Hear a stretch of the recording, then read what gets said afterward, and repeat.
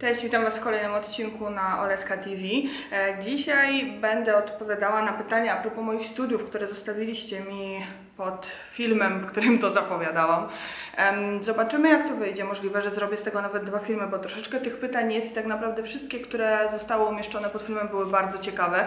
Dlatego postanowiłam na nie je sobie wypisać i na nie odpowiedzieć. Tutaj mam taką magiczną zieloną karteczkę, tak więc e, może przejdźmy do rzeczy, żeby już nie przedłużać e, i mam nadzieję, że w jakiś tam sposób Waszą ciekawość zaspokoję i w czymś Wam pomogę. E, Pierwsze pytanie to jest e, taki w ogóle był zbiór pytań, em, dosyć interesujących, dosyć kluczowych. E, Pierwsze, czy sama wybrałam studia, czy ktoś mi ten kierunek podpowiedział. U mnie to było tak, że ponieważ ja musiałam zostać w Częstochowie, nie mogłam wyjechać do innego miasta, więc e, wybór kierunków miałam dosyć ograniczony, jako że uczelni nie ma w Częstochowie zbyt wielu. E, I wybrałam to, co wydawało mi się najbardziej odpowiednie. Języka angielskiego uczyłam się bardzo długo, lubiłam ten język e, i wydawała mi się to najlepsza opcja. E, aczkolwiek potem troszeczkę zderzenie z rzeczywistością było e, niemiłe, bo jakby no to mój błąd. Nie spodziewałam się tego, że będę się przygotowywała do bycia nauczycielem. To nie był jakby, to nie jest moja wymarzona profesja i też nie mam ku temu żadnych jakby, nie wiem, chociaż niektórzy twierdzili, że mam charyzmę, to mi się wydaje, że nie do końca i nie, nie czułam się w tej roli dobrze. Czy gdybym wybierała, wybrałabym to samo? To jest ciężkie pytanie, mówiąc szczerze. Zastanawiałam się nad tym i nie wiem, bo e, tak jak mówię, nie miałam zbyt wielu opcji, a gdybym wybierała, to znowuż byłabym w takiej samej sytuacji, jak byłam wtedy, jeżeli chodzi o sytuację finansową i tak musiałabym zostać u rodziców, więc podejrzewam, że wybór byłby taki sam, albo przynajmniej, no, wydaje mi się, że jednak zostałby to język angielski. E, czy studiowanie było obowiązkiem, czy przyjemnością? Niestety obowiązkiem. Dla mnie e, były to bardzo ciężkie lata, zarówno, znaczy no głównie te trzy lata na licencjacie to było naprawdę bardzo trudny okres dla mnie, strasznie dużo wysiłku mnie to kosztowało pracy i ja nie miałam wtedy za bardzo życia towarzyskiego, niczego wtedy nie miałam, tak więc e, no nie sprawiało mi to jakiejś kolosalnej przyjemności na pewno. E, Teraz pytanie natury technicznej. Czy mając absolutorium można dostać pracę, w której wymagany jest jakby papierek? E, Wydaje mi się, że nie. Jeżeli jest wymagany papier em, taki jak ukończenie studiów wyższych w sensie magistra, to może być problem. Ja studia wyższe jako takie mam ukończone, jako że już tytuł licencjata daje mi jakby powód do tego, żeby zaznaczać, że mam wykształcenie wyższe, ale jednak mimo wszystko wydaje mi się, że jeżeli gdzieś jest stricte potrzebny magister, jeżeli na przykład chciałabym uczyć na uczelniach wyższych albo w szkołach średnich, to już w tym momencie nie, dlatego że mój dyplom z kolegium uprawnia mnie tylko do nauki w szkołach e, podstawowych i gimnazjalnych, z tego co pamiętam. I to też nie wiem, czy się te przepisy nie zmieniły jakoś. Czy ubiegałam się o pracę związaną z anglistyką i jak pracodawcy patrzą na, na dyplom e, i moje studia? E, Nigdy nie ubiegałam się o taką pracę stricte tylko z językiem angielskim. Nie liczę tutaj zleceń tłumaczeniowych, które wykonywałam, e, bo no to jest jakby zupełnie inna sprawa, ale nigdy nie chciałam pracować w szkole i e, nigdy też nie było jakby wymagane ode mnie dyplomu. Natomiast jeżeli ktoś widział mój dyplom i to, że jestem po, studi- po studiach właśnie językowych, to przeważnie było tak, że bardzo często na rozmowie kwalifikacyjnej już nie musiałam rozmawiać po angielsku, bo wszystkim się wydawało, że mówię tak fantastycznie, że oni na pewno mówią lepiej ode mnie i to nie ma sensu, co nie do końca czasami jest prawdą. Nie mówię, że w moim przypadku, ale w ogóle. E, Ile czasu musiałaś poświęcić na naukę poza wykładami?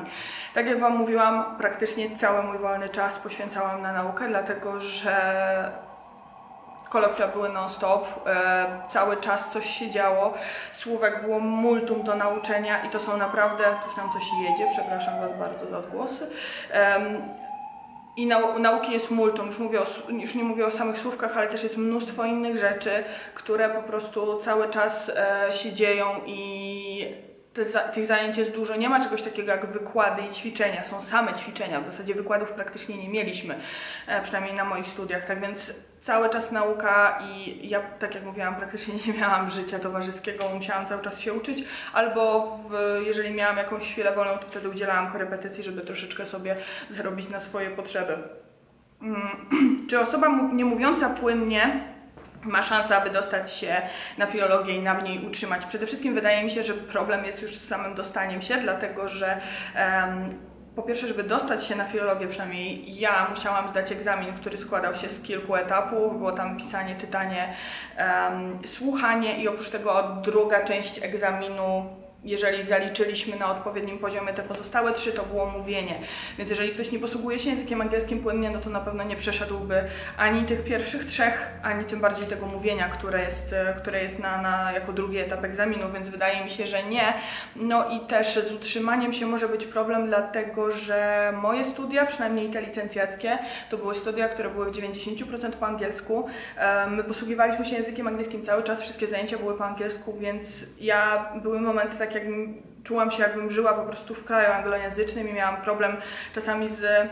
To jest głupie i. Y, ale ja wiem, że tak może być, że może, można mieć problem ze znalezieniem. Szybciej przychodzi nam do głowy słowo, które jest w języku angielskim niż w języku polskim, pomimo że polski jest naszym językiem ojczystym. No tak, tak bywało, już teraz e, raczej tak nie mam, bo tym językiem nie posługuję się aż tak dużo, jakbym chciała, ale jednak tak było. Eee z jakim poziomem zaczynałam studia. To był poziom ten FCE, czyli First Certificate of English, z tego co pamiętam, czyli taki dosyć podstawowy i standardowy. Mm, jak miałam metodę na wkuwanie słówek? E, na początku zaczynałam od listy, ale lista nie sprawdzała mi się aż tak bardzo dobrze. Potem mm, wymagało to dużo większej ilości czasu, ale przygotowywałam sobie fiszki i na fiszkach najlepiej mi się uczyło zdecydowanie, bo mogłam się uczyć tak naprawdę w każdym miejscu, nawet w autobusie. Czy jest tak trudno e, na lingwistyce na UW, jeżeli chodzi o poziom, czy studia są ciekawe? Znaczy, ciężko mi jest się powiedzieć o całej lingwistyce, dlatego że pamiętajcie o tym, że ja studiowałam zaocznie, a co za tym idzie, studiowałam tylko jeden język, dlatego że studia zaoczne nie, na studiach zaocznych nie ma dwóch języków. Na studiach dziennych lingwistyka polega na tym, że wybiera się dwa języki, to może być angielski, francuski, angielski, niemiecki, tam jeszcze kilka innych opcji. Um, tak więc to są zupełnie inne studia i tu też w zależności od tego, na jakie studia się wybierasz, może być łatwiej lub trudniej. E, dla mnie lingwistyka dwujęzyczna byłaby absolutnie niemożliwa, bo niestety, ale żadnego drugiego języka nie opanowałam na takim poziomie, żebym mogła go studiować. Więc jeżeli chodzi o same studia zaoczne, same studia nie były bardzo ciężkie. Tam oczywiście, że bywały lepsze i gorsze chwile i tam zdarzały mi się poprawki, ale to nie było jakieś takie bardzo, bardzo ciężkie w porównaniu do tych studiów, które miałam wcześniej, to e, było umiarkowanie. E, Porównanie, e, jakbym porównała studia dzienne i zaoczne, jeżeli chodzi o to, czy lepiej studiować dziennie i zao czy zaocznie, w zależności od um, sytuacji, bo to jest tak, tutaj było też pytanie o znajomości, kontakty i o doświadczenie. Powiem Wam tak, że ja w ogóle e, tak mnie się wydaje i z tego, co z mojego doświadczenia wynika, że dobrze jest pierwszy, e, i tego akurat nie żałuję, że pierwszy etap studiów zrobiłam dziennie, natomiast drugi zrobiłam zaocznie, e, bo wtedy mogłam zacząć pracować i też miałam tak jakby wszystko, bo miałam zarówno szkołę, jak i doświadczenie, jeżeli chodzi o pracę. E, bo jeżeli studujecie dziennie przez 5 lat, to potem jesteście troszeczkę bezrobotnym magistrem i tak lądujecie na kasie w HM-ie albo gdziekolwiek indziej. Ja nie mówię, że to jest złe, ale przeważnie jak kończy się studia, to chce się zacząć pracę w zawodzie, a tutaj zaczyna się tak naprawdę od zera i takie rzeczy można robić już w tym momencie w trakcie studiów, żeby potem, kiedy już mamy te studia skończone, było nam łatwiej o taką bardziej konkretną, wymarzoną pracę. E, tu było, było też pytanie, jaki miałam drugi język, tak jak wcześniej mówiłam, ponieważ studiowałam zaocznie, na lingwistyce nie miałam drugiego języka, miałam tylko jeden język i był to język angielski.